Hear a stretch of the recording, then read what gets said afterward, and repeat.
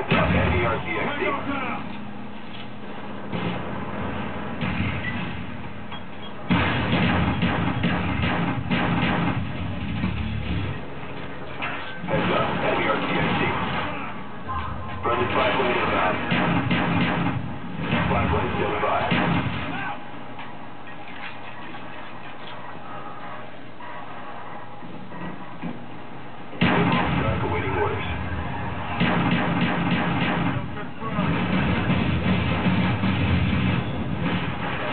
We're standing by.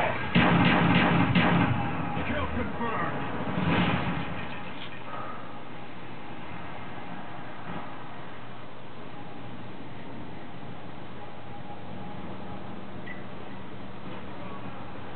Thank